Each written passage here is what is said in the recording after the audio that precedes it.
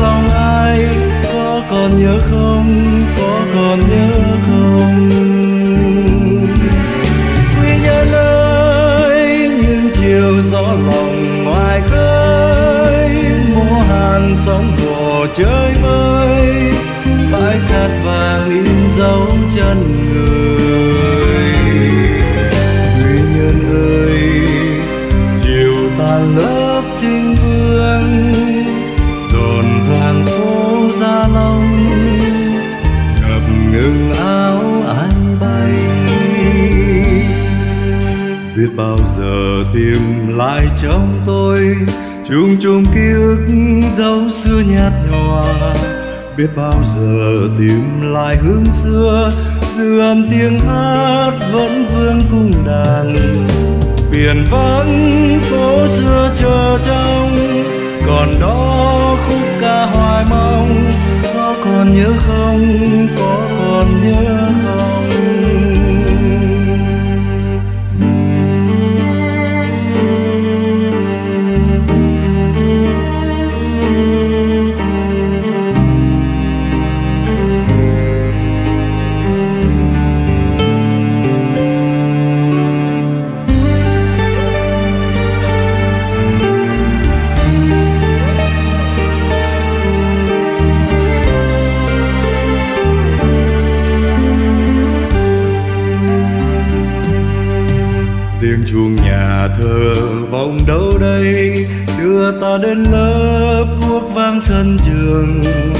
Mắt môi cười, tuổi hồng vu vơ. Liền mang nỗi nhớ bước chân ta về.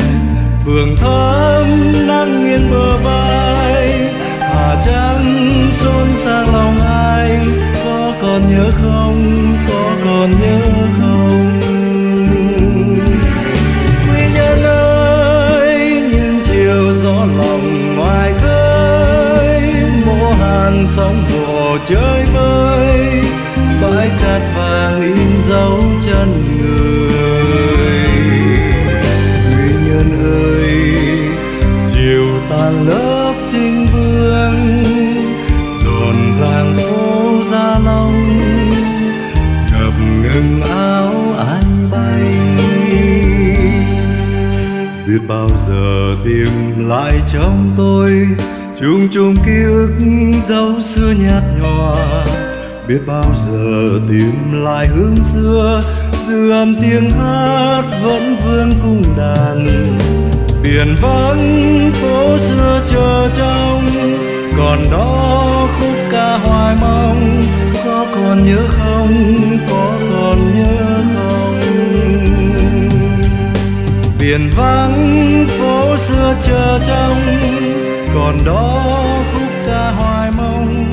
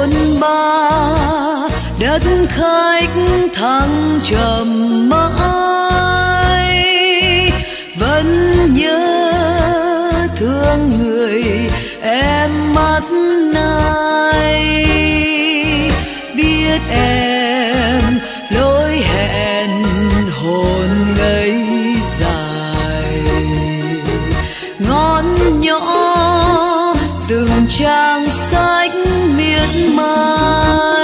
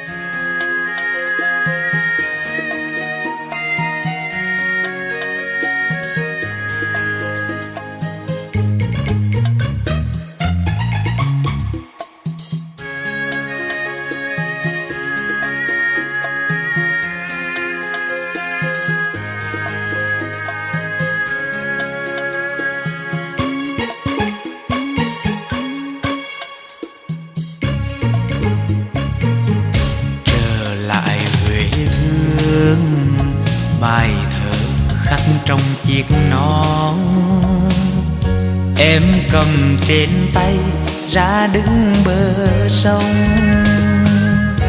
Sông hương nước chảy, thuyền trôi lững lờ. Em trao non đời và em hẹn hò. Trở lại huế thương, lần theo ân tình câu hát tìm người con gái áo tím mong mơ. Sông hương tập nập, tìm răng được chứ, không nguôi kỷ niệm, vòng tay hồng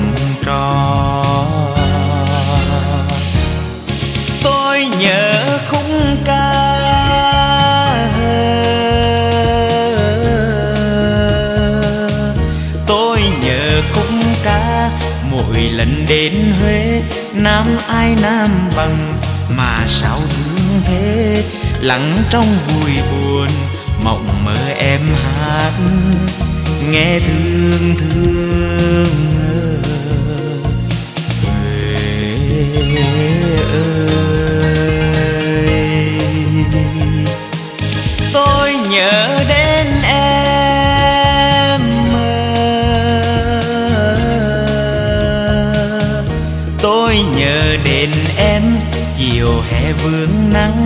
Rơi rơi sân trường. Phượng hồng mơ ước dáng em đi về, hòa tan trong huế. Nên tôi đi ờ, tìm em.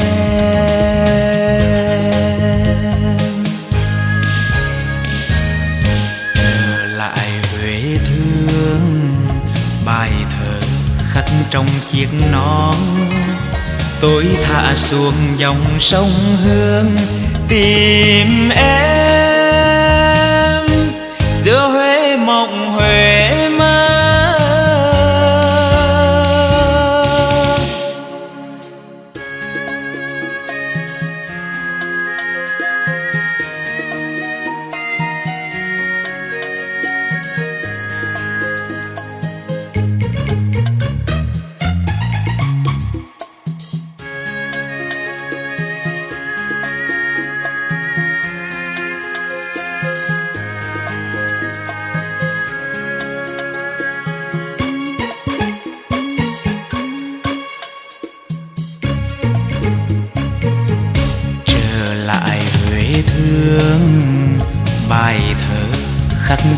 Chiếc nón em cầm trên tay ra đứng bờ sông.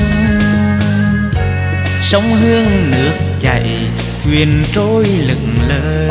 Em trao non đời và em hẹn hò. Trở lại huế thương, lần theo ân tình câu hát. Tìm người con gái áo tím mong mơ. Sông hương tập nập tìm răng được chứ. Không nguôi kỷ niệm, vòng tay hồng trò tôi nhớ khúc ca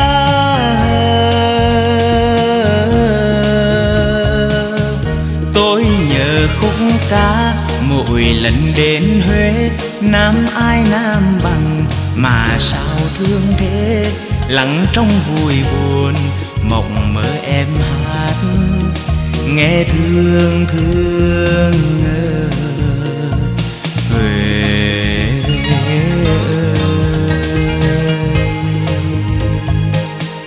tôi nhớ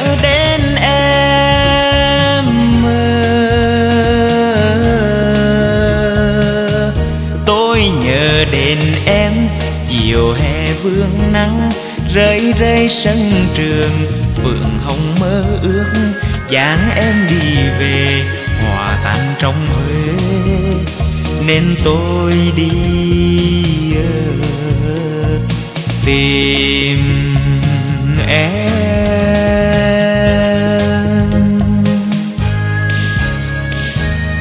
Trở lại huế thương, bài thơ khắc trong chiếc nón tôi thả xuống dòng sông hương tìm em.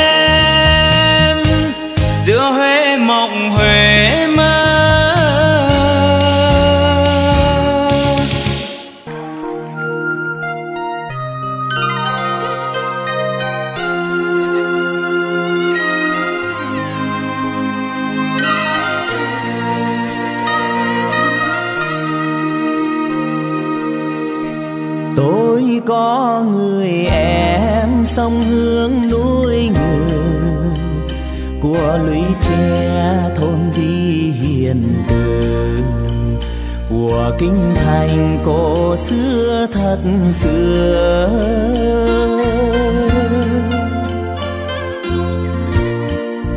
Buổi trưa em che non lá, cá sông hương liếc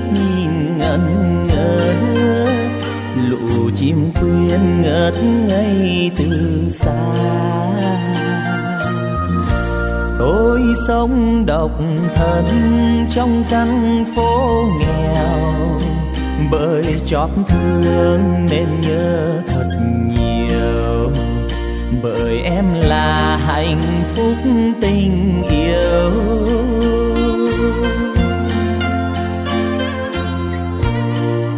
Ở Uh bên nỡ cách con sông chuyến đò chẳng xa. Nhỏ sang thăm có tôi đợi chờ Huế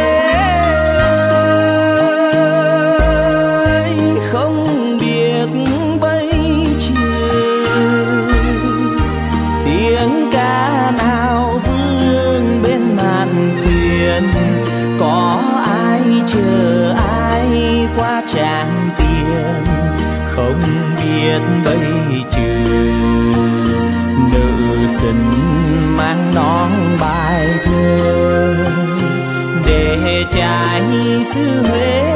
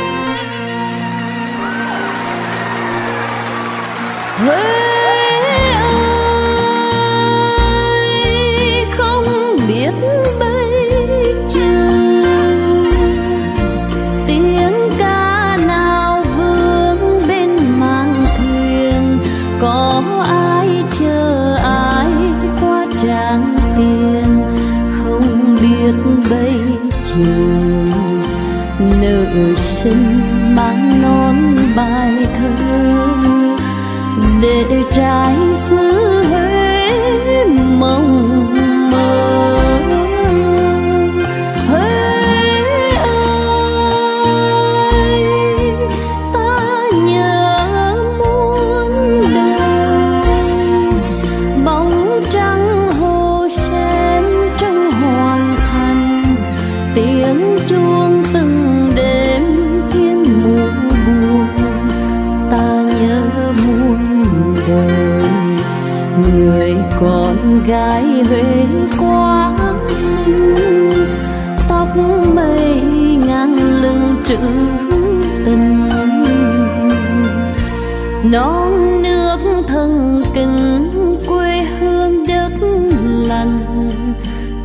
trái tim sông núi của mình. Cả linh hồn của dân hung ăn.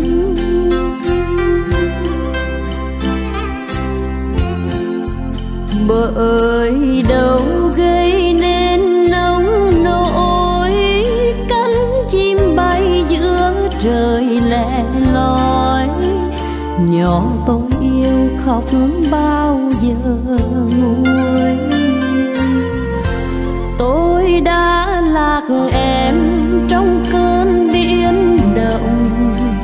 Để tháng năm hai đứa lăn lùng, để đêm ngày kẻ nhớ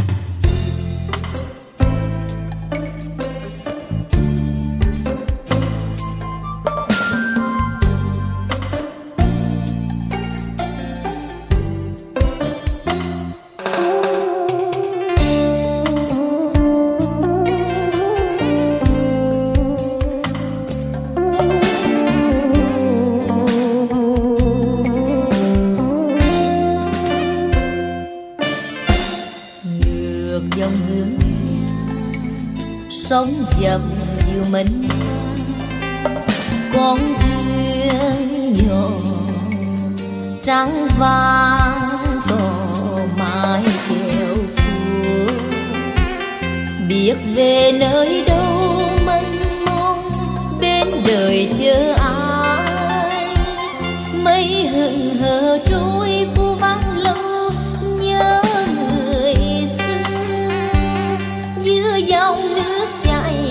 chảy thuyền em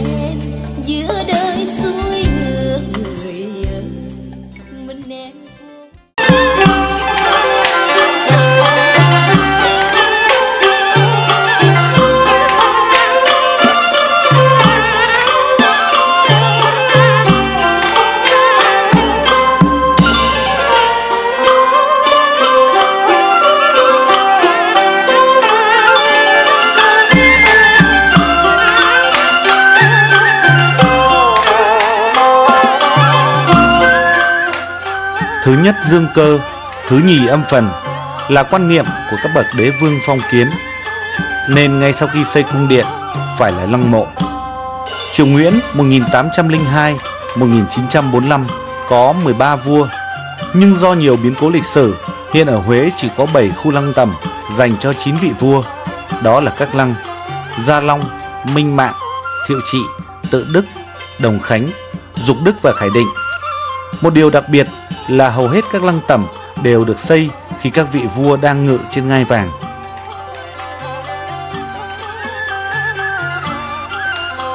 Theo ý đồ quy hoạch kiến trúc kinh đô nhà Nguyễn vào thế kỷ 19, bảy khu lăng tẩm Huế nằm trong một vùng khá riêng biệt ở phía Tây Huế, nhìn từ vị trí trung ương của cố đô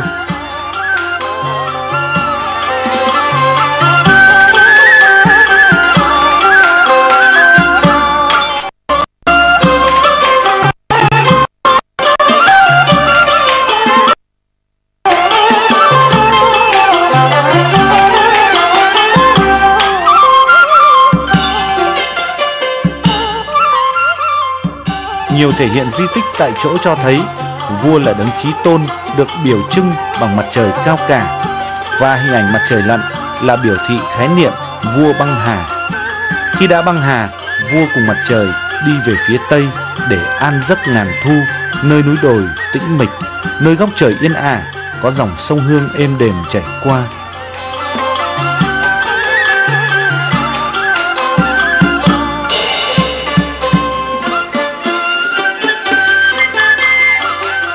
Cả vùng đồi núi chập trùng phía Tây và Nam Huế kéo dài trên 16 km, có sông Hương len lỏi uốn khúc là khu các lăng tẩm vua nhà Nguyễn. Vẻ đẹp u tịch của thiên nhiên hòa với nét uy nghi của núi đồi cộng với kiến trúc trong lăng khiến con người cảm thấy nhỏ bé, chơi vơi. Dựa theo thuyết phong thủy, mỗi lăng xây trên một quả đồi lớn nhưng toàn bộ chiếm cả một quần thể đồi núi. Có núi án ở trước mặt làm bình phong, có núi chắn ở hai bên làm tay ngai và ngay trước khu lăng tẩm phải có ngòi lạch chảy lượn từ trái qua phải.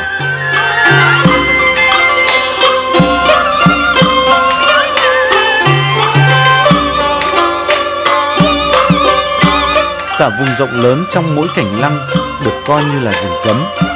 Ngay trong khu vực lăng và tẩm cũng có chu vi hàng nghìn mét. Quy mô mỗi lăng tẩm rất rõ ràng, chiếm cả một vùng đồi rộng. Bố cục mặt bằng có nhiều ý nghĩa, thể hiện sự chuyên chế của chế độ phong kiến nhà Nguyễn. Điển hình cho các lăng tẩm ở Huế là lăng Gia Long, Minh Mạng, lăng Thiệu Trị, lăng Tự Đức và lăng Khải Định.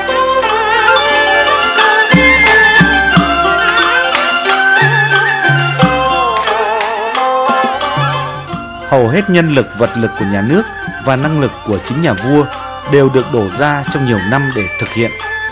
Chủ đề tư tưởng nghệ thuật do nhà vua đưa ra, ý đồ kiến trúc do vua duyệt và chính nhà vua cũng thường đi giám sát thi công.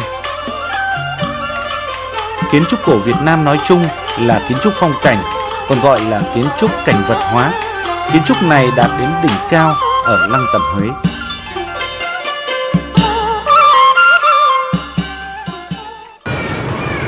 Vào thăm lăng tầm Huế, người ta có cảm giác như đi chơi ở công viên Mỹ Lệ giữa chốn núi rừng bao la. Ở đây có thể nghe thấy tiếng chim hót, hoa nở, suối chảy, thông reo. Các công trình kiến trúc lăng tầm cổ kính ở Huế có sự kết hợp hài hòa giữa không gian và cảnh quan sông núi thơ mộng đã góp phần làm tôn thêm vẻ đẹp xứ Huế.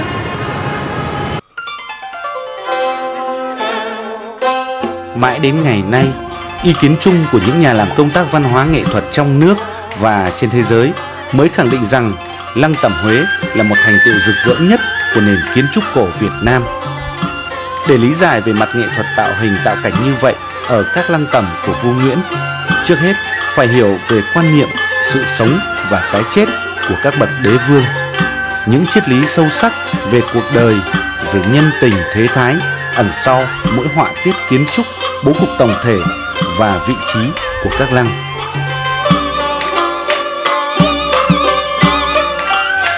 Lăng tẩm Huế không phải chỉ là chốn mộ địa u buồn. Bố cục mặt bằng lăng tẩm nào cũng chia thành hai phần chính, phần lăng và phần tẩm. Khu vực lăng là nơi an táng thi hài nhà vua, khu vực tẩm là chỗ xây nhiều miếu điện, lầu gác đình tạ. Để lúc còn sống, nhà vua thỉnh thoảng rời hoàng cung lên đây tiêu khiển. Có thể xem khu vực tẩm là hoàng cung thứ hai của những ông vua đang tại vị.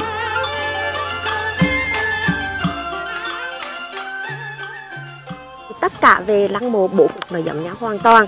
Lăng nào cũng có hàng tường quan văn, võ, binh lĩnh voi ngựa. Rồi lăng nào cũng có cái nhà bia và lăng nào cũng có hai cái trụ biểu hai bên. Tức là đó là bố cục giống như nhau, nhưng mà tùy theo từng thời kỳ, kiến trúc nó khác nhau mà thôi và lăng mộ là hoàng cung thứ hai của nhà vua. Tức là mỗi lần nhà vua mệt mỏi ở kinh thành, thì nhà vua có thể lên trên lăng này, nghỉ ngơi, làm việc, giải trí và tiêu khiển trên khu lăng mộ của mình luôn.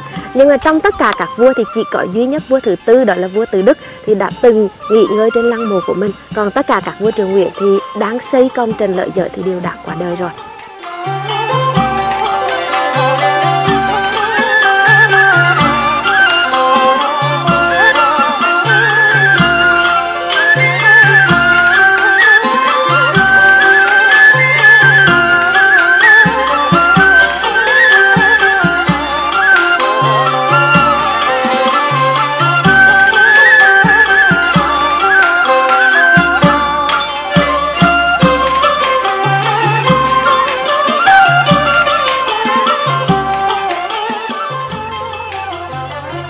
Sau khi nhà vua băng hà, tất cả các công trình kiến trúc trong khu vực tầm vẫn bảo lưu y nguyên để thờ phụng đấng quân vương.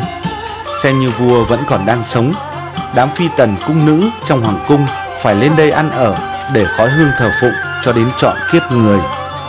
Với tất cả những quan niệm giáo điều phong kiến, coi đó là sự trung thủy đối với vị tiên đế khi về thế giới bên kia.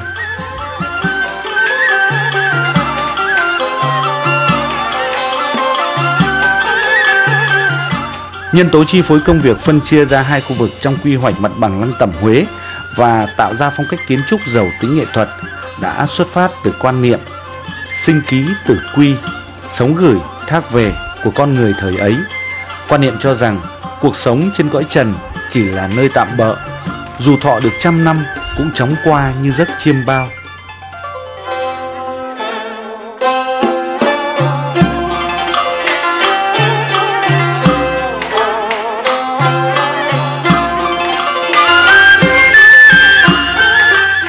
Kiến trúc lăng tẩm Huế có ngôn ngữ riêng biệt và có ý nghĩa sâu xa của nó.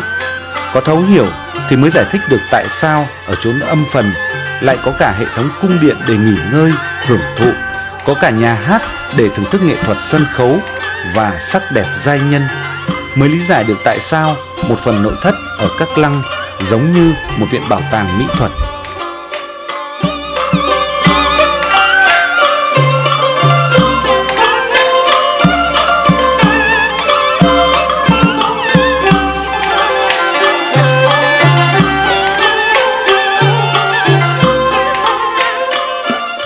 kiến trúc lăng tẩm Huế còn cho thấy một thái độ thanh thản đối với cái chết tất nhiên phải đến trong đời người. Lăng và tẩm có nơi chỉ gần nhau gang tấc. Các vua đến chơi trong khu vực tẩm nhìn qua cái huyệt đào sẵn ở khu vực lăng mà chẳng hề có chút băn khoăn, lo sợ. Ngược lại, họ sống ung dung, tự tại, thấu hiểu quy luật tự nhiên của đời người, vui vẻ trước cái chết và sẵn sàng chờ cho tử thần đến đưa họ về thế giới bên kia. Vì đó là ngôi nhà vĩnh cửu, nơi an giấc ngàn thu, cõi trường sinh bất diệt.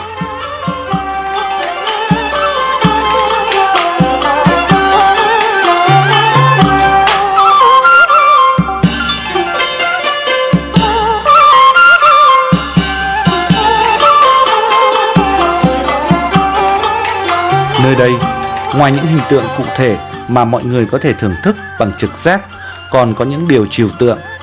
Đó là tư tưởng xuất phát từ nhân sinh quan của một thời kỳ lịch sử.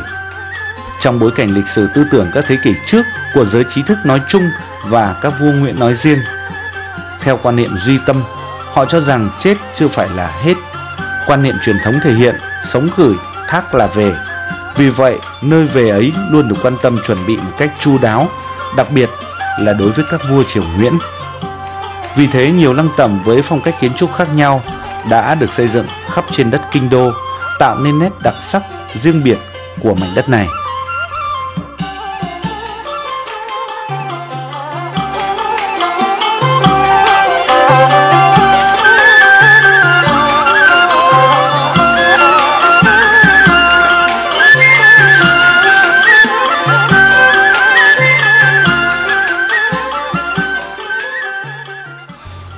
Nhờ có chủ đề tư tưởng bắt nguồn từ nhân sinh quan tổng hợp của các dòng triết học phương Đông và nhờ tài năng nghệ thuật điêu luyện của các nhà kiến trúc Việt Nam đương thời, Lăng Tẩm Huế đã trở thành một đóa hoa nghệ thuật đầy hương sắc, nở ra giữa chốn núi đồi xứ Huế và mang phong cách đặc biệt độc đáo so với các loại hình kiến trúc mộ táng trên toàn cầu.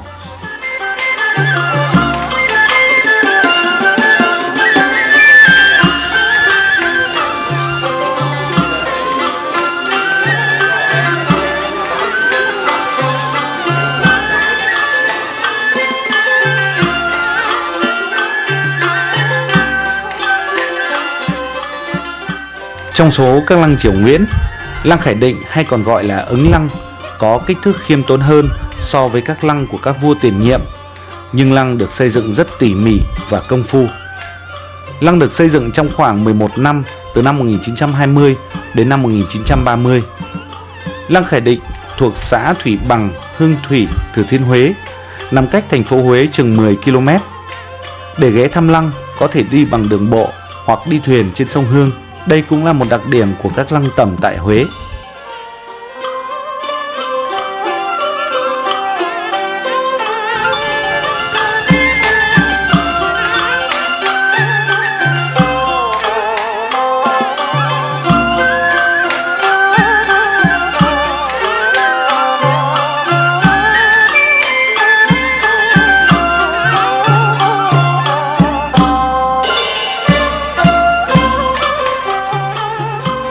Ban đầu, bạn sẽ không khỏi choáng ngợp khi đứng trước một công trình có tổng thể hình chữ nhật vươn cao tới 127 bậc. Kiến trúc của Lăng cho ta cảm giác như đang đứng ở những công trình thành quách của một nước châu Âu nào đó. Khác với kiến trúc truyền thống thời Nguyễn, sự pha trộn của nhiều trường phái kiến trúc như Ấn Độ giáo, Phật giáo, Roman Gothic, vân vân đã để lại dấu ấn trên những công trình của Lăng.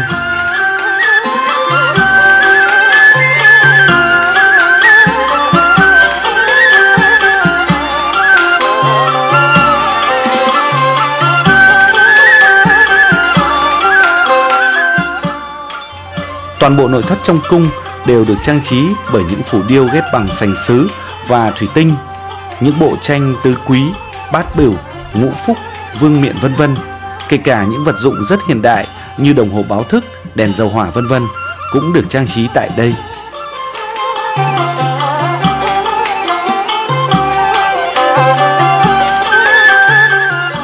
Đặc biệt, Lăng Khải Định nổi tiếng với ba bức bích họa Cửu Long ẩn vân tuyệt đẹp được trang trí trên trần của ba gian nhà giữa trong cung thiên định.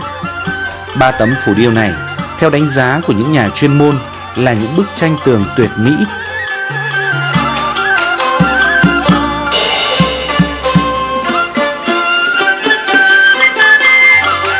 Lăng Khải Định thực sự là biểu tượng đỉnh cao của nghệ thuật tạo hình sành sứ và thủy tinh của dân tộc.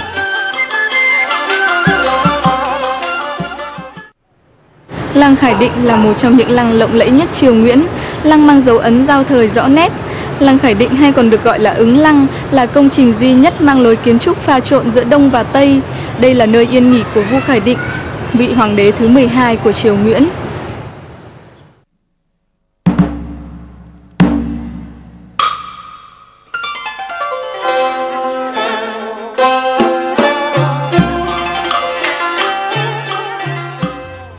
Ngắm lăng Khải Định. Du khách có thể đứng từ xa phóng tầm mắt để thấy lăng như hòa vào phong cảnh núi đồi bao phủ. Bên trên là khoảng không mênh mông vô tận của vòm trời cao vút. Ngắm nhìn lăng uy nghi sừng sững trong không gian vắng lặng u tịch, ta cảm nhận được không khí trang nghiêm, kiêu sa mà trầm mặc, u tịch chốn an nghỉ muôn đời của bậc đế vương.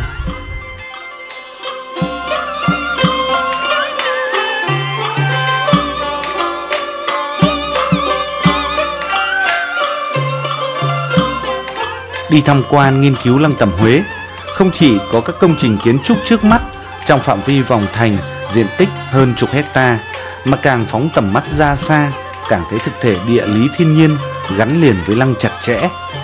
Có như thế mới thưởng thức đầy đủ vẻ hoành tráng của cả một tổng thể hàng trăm, hàng nghìn hecta mà lăng tẩm Huế có ảnh hưởng về mặt nghệ thuật.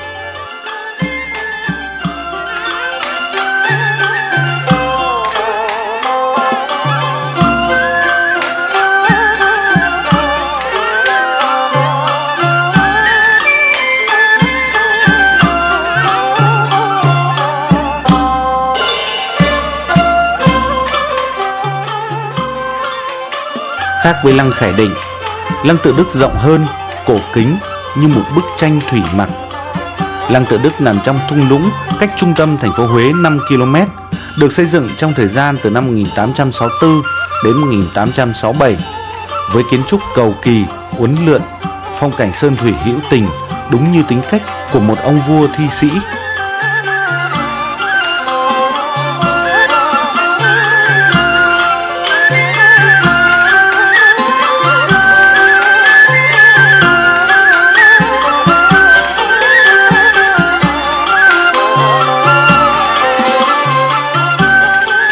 vua tự Đức, vị vua thứ tư của triều Nguyễn, đã xây lăng mộ cho mình ngay từ khi còn sống. Đây có thể coi là hành cung thứ hai của vua tự Đức.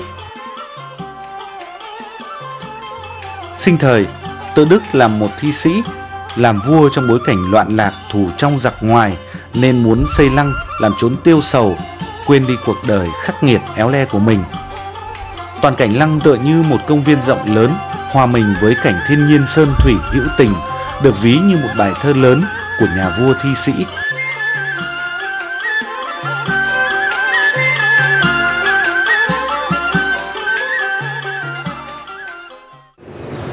Nếu như lăng khởi định cầu kỳ, tinh xảo thì lăng tự đức lại như một công viên rộng lớn.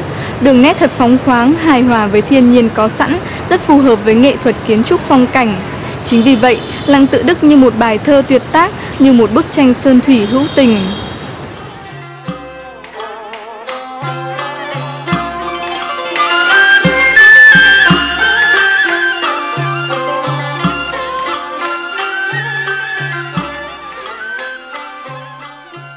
Yếu tố được tôn trọng triệt để trong lăng tự đức là sự hài hòa của đường nét. Không có những con đường thẳng tắp đầy góc cạnh như các kiến trúc khác. Thay vào đó là con đường lát gạch bát tràng bắt đầu từ cửa vụ khiêm đi qua trước khiêm cung môn rồi uốn lượn quanh co ở phía trước lăng mộ và đột ngột khuất vào những hàng cây đại thụ gần lăng hoàng hậu lệ thiên anh.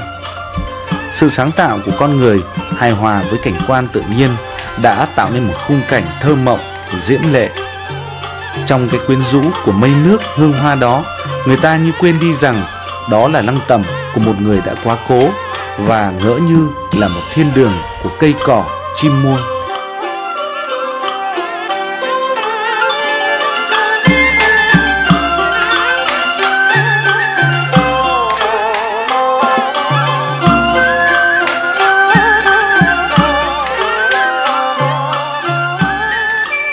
Giữa kiến trúc của lăng tầm và thiên nhiên có sự gần gũi, bổ trợ cho nhau. Ông vua thi sĩ đã nằm xuống giữa một không gian của thơ và nhạc. Sự yên bình trong tổng thể kiến trúc chắc tuyệt về nghệ thuật, xây dựng lăng tầm thời Nguyễn. Người đời sau, mỗi khi đứng trước khung cảnh thơ mộng này, ai cũng nghĩ đến một câu thơ đề tặng ngôi nhà vĩnh cửu của vua tự Đức với sự tâm đắc ngưỡng mộ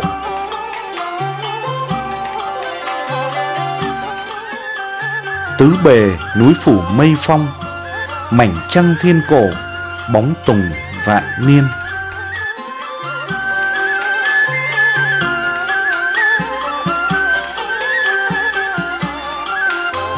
các lăng tẩm Huế đều ở trên gò đồi, nhưng vẫn bám sát sông Hương, tiện cho đám rước xưa, và cả ngày nay du khách đi bằng đường thủy hay đường bộ đều được.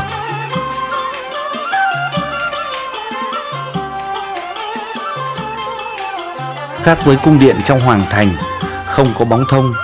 Trùm lên các lăng mộ là đại ngàn thông nhô thẳng, vươn cao, quanh năm xanh tốt rì rào, như dẫn đường cho sự siêu thoát, như gợi nhớ tưởng niệm, như trò chuyện tâm giao.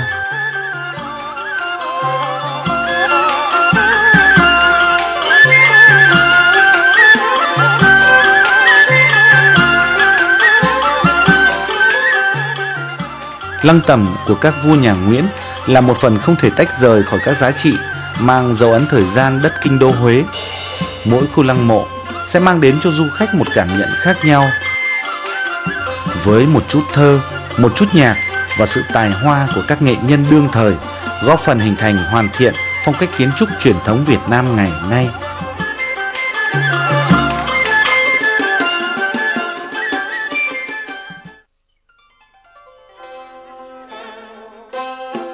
Lăng Minh Mạng, một kiệt tác của kiến trúc Việt Nam nằm bên hữu ngạn sông Hương, ngay nơi ngã ba bằng lãng. Khu lăng nằm thanh thản nổi rõ giữa núi đồi, trời mây, sông nước thần ngoạn mục, sơn hồi thủy tụ đã tạo cho khung cảnh lăng rất đỗi tự nhiên. Dòng sông Hương trong xanh như một dải lụa làm bức diềm phía trên. Núi Kim Phụng cân phân làm cái gối dệt phía sau, rừng thông chỗ rậm, chỗ thưa, làm cho các công trình kiến trúc bên trong thấp thoáng, như ẩn, như hiện dưới các tán lá xanh tạo nên sự hài hòa ăn ý giữa con người và thiên nhiên.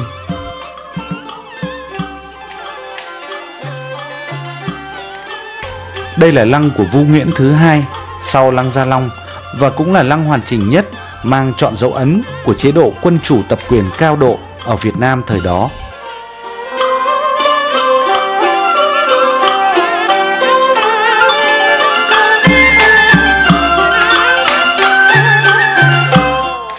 Lăng Minh Mạng, còn gọi là Hiếu Lăng, nằm trên núi Cẩm Khê, là nơi hội lưu của hai dòng Hữu Trạch và Tả Trạch hợp thành sông Hương.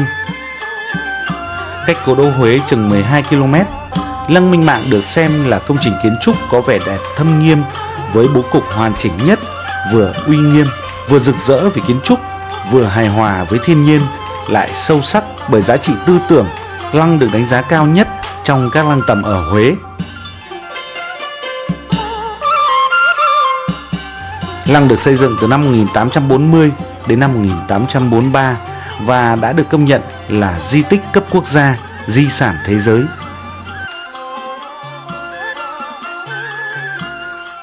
À, vua Minh Mạng bắt đầu tìm ngọn núi này và quyết định xây dựng lăng mộ của mình. Nhưng mà rất tiếc một điều thì năm 1841 tức là xây công trình này mới có một năm thôi thì nhà vua đã qua đời rồi và người con tiếp tục lên nối ngôi chính là vua thứ ba vua thứ trị là tiếp tục để xây dựng công trình này cho cha mình và đến năm 1843 mới hoàn tất. Toàn bộ khu lăng mộ này thì rộng đến 28 hecta và với 40 công trình lớn nhỏ. Với 40 công trình lớn nhỏ bao gồm cung điện, đền miếu và đài tạ vân vân được bố trí trên một trục dọc theo đường thần đạo dài 700 mét từ Đại Hồng Môn ở ngoài cùng tới chân tường của La Thành phía sau mộ vua. Hình thế của lăng tựa như dáng người đang nằm nghỉ trong tư thế đầu gối lên núi Kim Phụng, chân duỗi ra ngã ba sông trước mặt. Hai nửa hồ trừng minh như đôi cánh tay buông xuôi tự nhiên.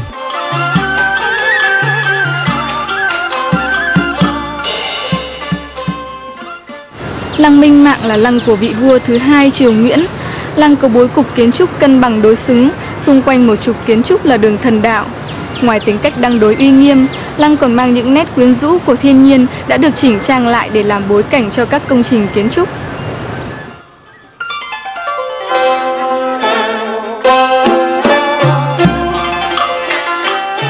Ngắm toàn bộ bố cục kiến trúc của lăng Minh Mạng do xây dựng trên cơ sở tư tưởng chịu ảnh hưởng sâu sắc của đạo nho nên mới đầu cảm thấy hơi khó coi bởi công thức theo một khuôn phép đơn điệu của nó. Nhưng nghệ thuật tạo dáng trong đó có những nét giản đơn có ích của các nhà kiến trúc dân tộc và các nghệ nhân ở Huế thế kỷ 19 đã tạo nên phong cách kiến trúc Huế những nét độc đáo riêng. Lăng Minh Mạng thâm nghiêm thăm thẳm, cao và sáng, chặt chẽ và sinh động hài hòa được giới kiến trúc đánh giá là một trong những kiệt tác về kiến trúc đô thị.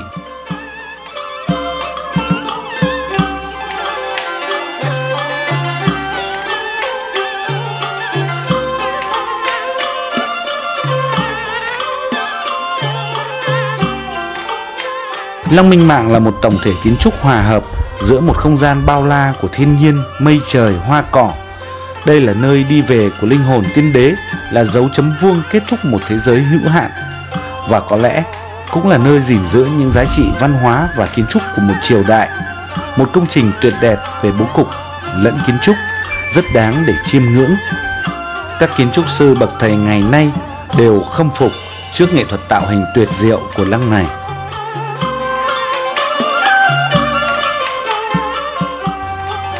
Có nhà nghiên cứu Huế đã đúc kết phong cách nghệ thuật của những lăng tẩm Huế như sau. Lăng Minh Mạng thâm nghiêm, Lăng Tự Đức thơ mộng, Lăng Khải Định tinh xảo. Và có thể nói, Ngoài bề dày lịch sử của đất cố đô, Lăng tẩm Huế là một bộ phận quan trọng và độc đáo, Cấu thành di sản văn hóa Huế, Là một đóa hoa nghệ thuật độc đáo, Đầy hương sắc trong di sản Việt Nam và nhân loại.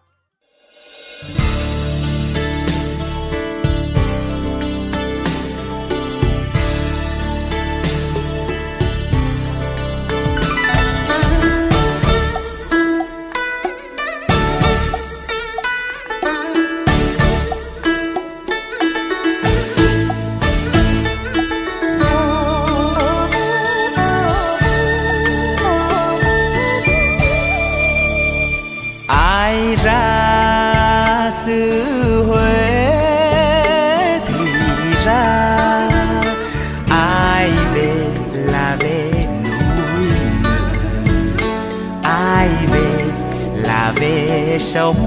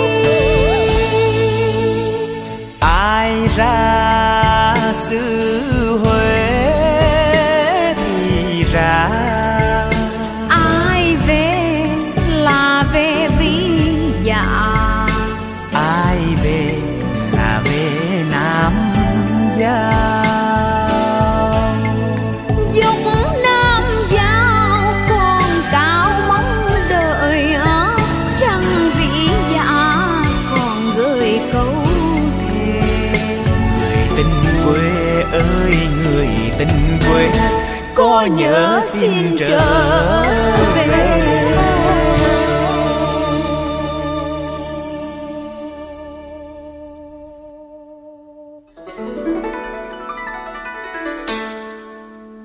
À,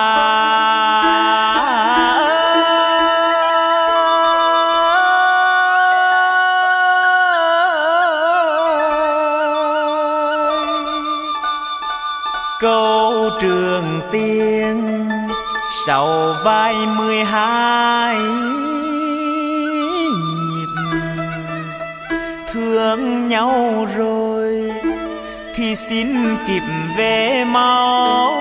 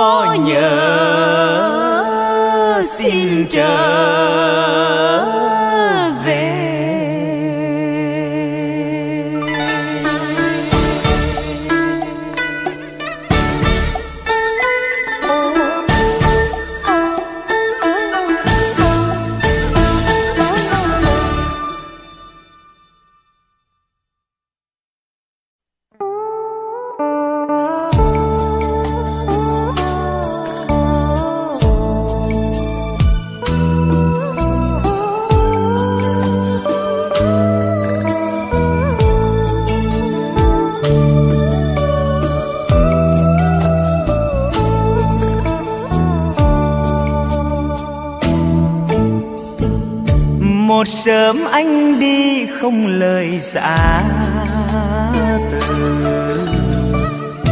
Để cho huế buồn, huế giận nhìn thu. Nhìn thu sông tóc buông dối hờn. Về nghe gió qua lòng, lành từng cơn nhớ mong. Ngày đó sông hương chưa từng biết. Buồn và em hãy còn bé dại lòng son. Tại anh thề thốt chi lối thề chứ sông nước nghe rồi, tôi tin em đợi chờ.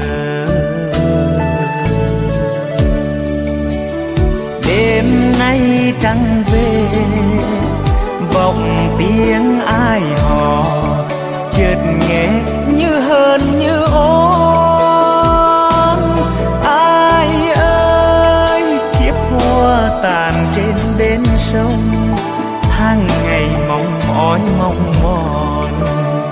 Vì ai vẫn còn, ngát thơm một dòng đó sông hương, biết hơn biết giận. Mỗi năm nhớ người nước lụt tràn dâng. Tình yêu chưa hóa ra oán hờn, vì ai trót sai lời hẹn hò chi huế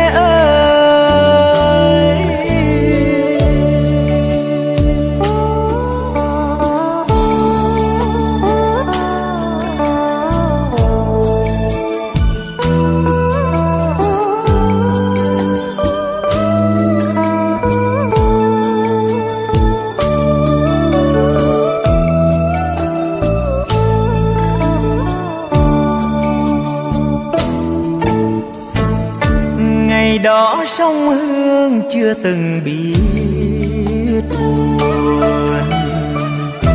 và em hãy còn để dại lòng son. Tại anh thề thốt chi lối thề chứ sông nước nghe rồi, tôi tin em đợi chờ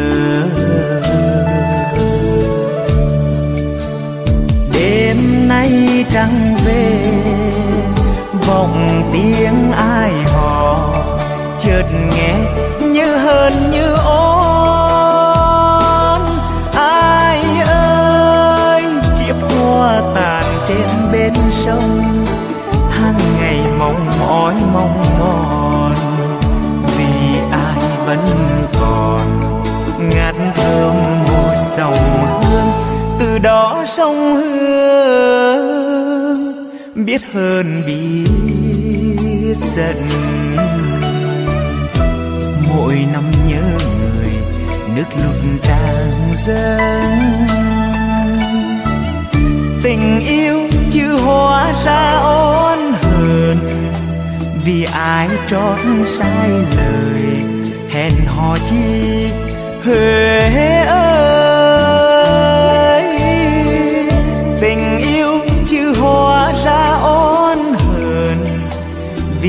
Ai trót sai lời, hẹn hò chi huế ơi. Tình yêu chưa hóa ra oán hờn, vì ai trót sai lời, hẹn hò chi huế ơi.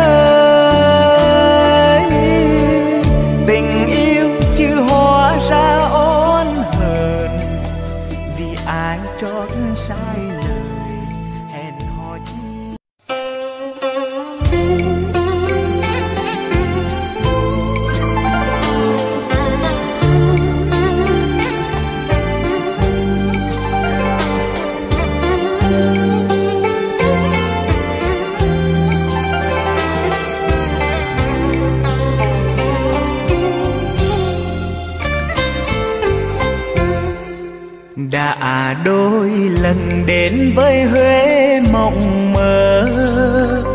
Tôi ôm ấp một tình yêu dịu ngọt. Vẻ đẹp huế chẳng nơi nào có được. Nét dịu dàng pha lẫn trầm tư.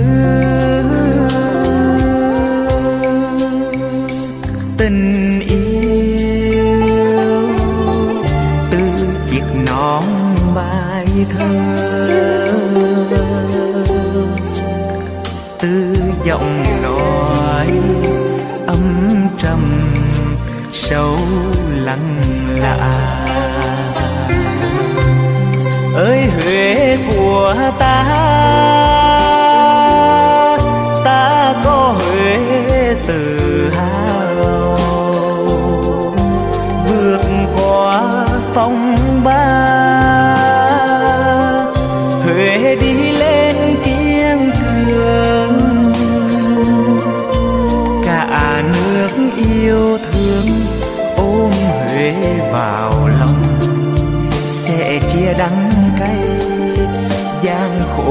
mặn nồng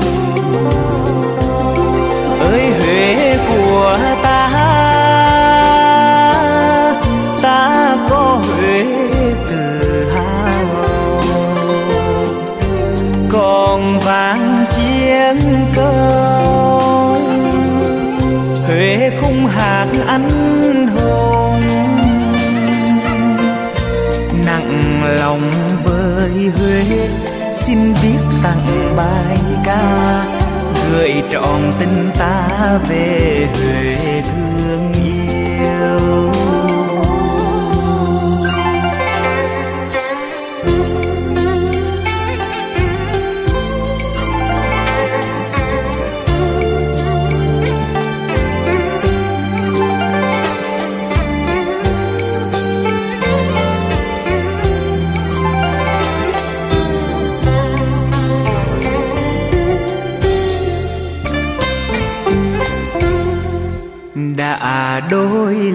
Đến với Huế mong mơ.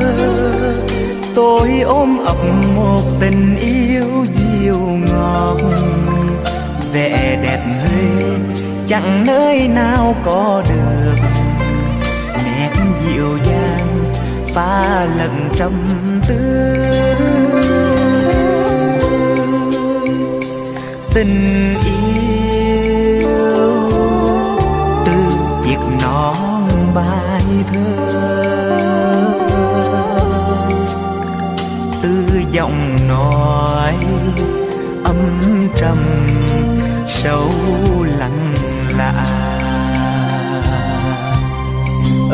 quê của ta. Ta có huế tự hào, vượt qua phong ba. Huế đi lên kiên cường, cả nước yêu thương ôm huế vào lòng. Sẽ chia đắng đây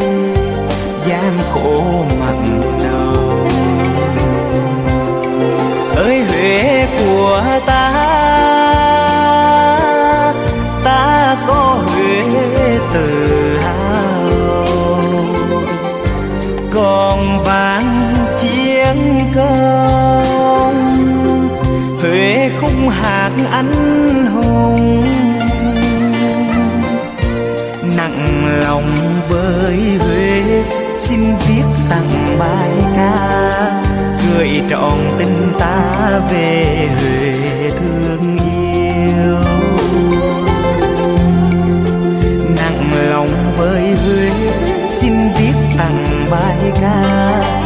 Gửi trọn tình ta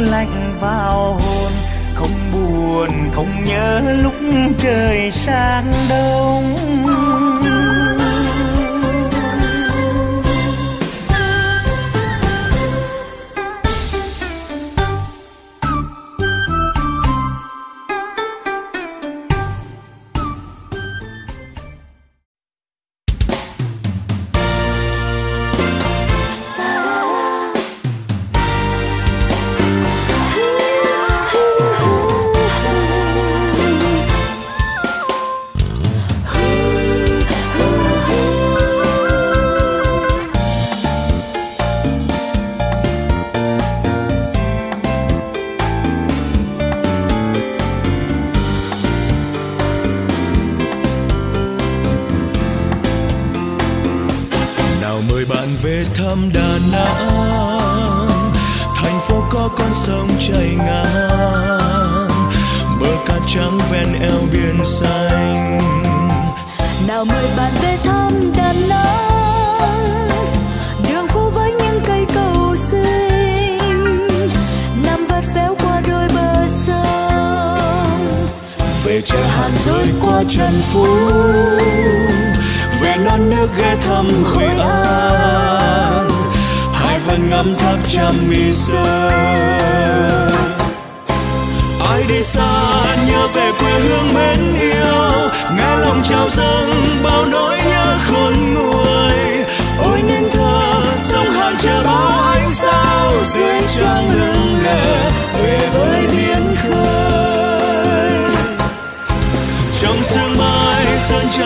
xa nhớ nhớ, bao nàng tiên nữ giáng xuống cõi trần gian. Trông xa xa, con thiên trải nếp bên, bóng cây mơ màng, tựa như bức tranh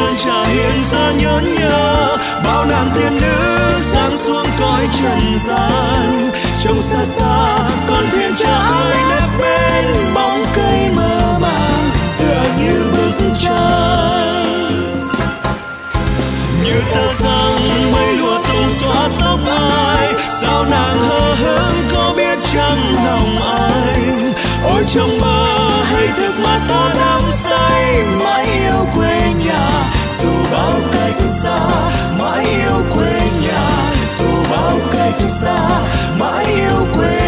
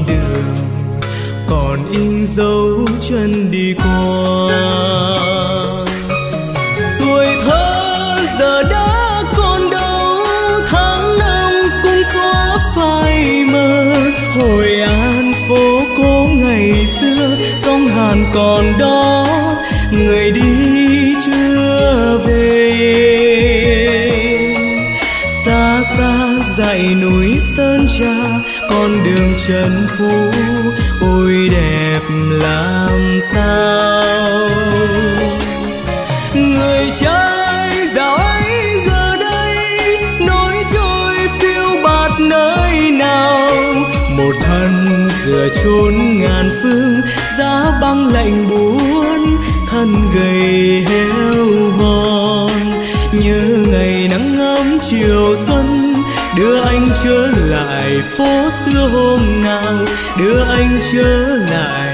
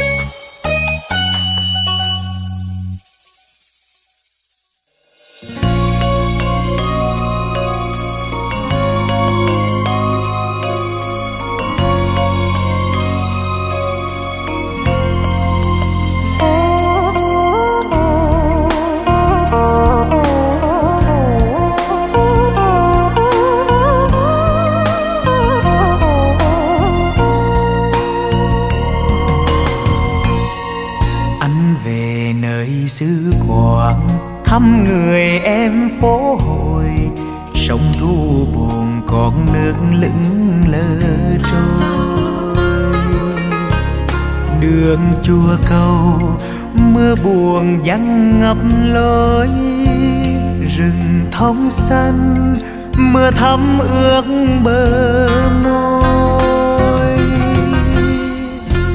Thương nhớ nhiều, người em yêu xứ quảng làng mối hồng, xuôi tóc xõa ngang vai. Bờ mi công nhấp nhô thuyền cửa đài, sóng dắt dào tiếng thông reo bao kỷ niệm ngày mình bên nhau, ước mơ chung đôi nhịp cầu. Nào ngờ đâu, tuổi thơ em vào trang giấy. Cuộc đời mộng mơ, nhớ thương mùa phường nở. Ngăn chia đôi bờ anh đứng chờ ngẩn ngơ. Da em trắng, mịn màng hơn các biển. Mắt em xanh như dòng nước hàng giang. Tình ta đẹp như vầng trăng soi sáng. Tên chúng mình, lưu niệm ngũ hành sơn